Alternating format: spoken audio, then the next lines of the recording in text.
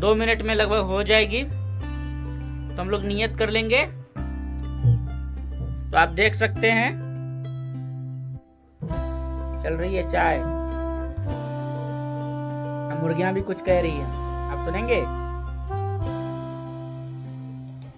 क्या कह रही हो? कह रहे हो?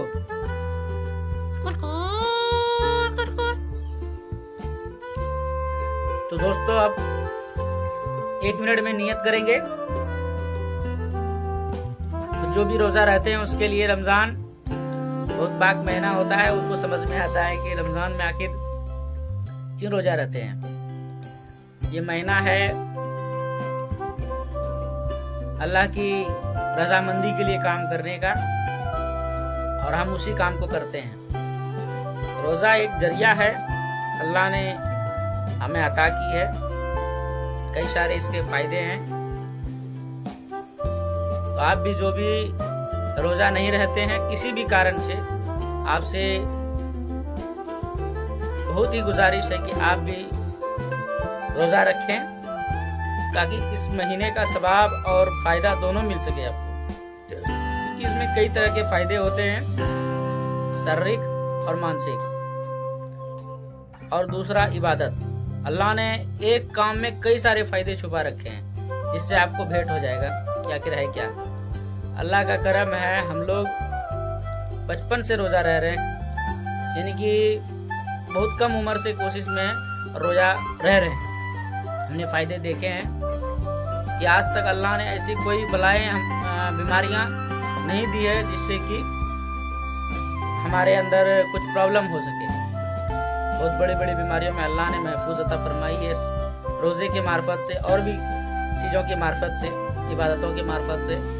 तो हमें उनका अहतमाम करना चाहिए और सारे मुसलमान भाइयों को इस माह रमज़ान में, अगर वो रोज़ा नहीं रह सक रहे हैं तो वो ज़रूर रोज़ा रहें और अपने शरीर को और अपने दिमाग को और अल्लाह की इबादत में अपना समय ज़रूर लगाएँ। पैसा तो हम सब दिन कमाते रहते हैं और इंशाल्लाह कमाना भी चाहिए। अब हमारे यहाँ भी अजान होने वाला है तो हम पानी पियेंगे और इसके बाद नियत करेंगे।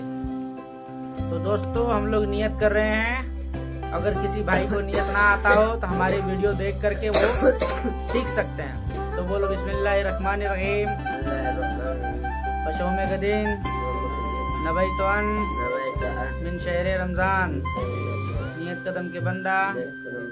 रोजदारम अगर खुदा चाहे। तो कर गुजारम पशो में गदीन नबई तो मिन शहर रमज़ान। नियत कदम के बंदा। रोजदारम। अगर खुदा चाहे तो कर गुजारम तो दोस्तों हम लोग ने नियत कर लिया है। अब हम लोग नमाज़ पढ़ने जाएँगे क्योंकि पहले ही जाना पड़ता है। थोड़ा लेट कर दिया तो दिक्कत हो जाती है फिर समय निकल जाता है क्योंकि समय पता भी नहीं चलता है। तो जाएँगे मस्जिद की ओर। आप सबों को भी रमज़ान में मस्जिद में ज़्यादा से ज़्यादा जाना चाहिए और अंदीना भी जाना चाहिए। क्या देते हैं? यानी कि अजान होती है, उसका मतलब भी नहीं हमें पता। लोग अभी पढ़े नहीं है उसके बारे में तो हमें उनके बारे में जानना चाहिए और इबादत पे थोड़ा समय देना चाहिए। सभी दोस्तों को रमज़ान का एहतमाम करना चाहिए। तो दोस्तों, इफ्तारी हम लोग कर लिए और नमाज़ पढ़ के भी आ गए। शायद आप लोग भी नमाज़ पढ़ के आ गए होंगे। तभी हम दुकान पे बैठे हुए हैं और दोपहर में जितना धूप चिलचिलाती होती कहीं आपको उसके बारे में कुछ बता ही नहीं सकते कहाँ गए, नहीं गए, लेकिन दुकान पे रहते हैं मौजूद। ये ज़्यादा टाइम रहता है अपना, दुकान पे रहते हैं। और इधर उधर जाने का कोई ज़्यादा मौका नहीं मिलता है और अभी सभी कोई आया नहीं है, अब देखते हैं कब आता है सब, इसके बाद आपको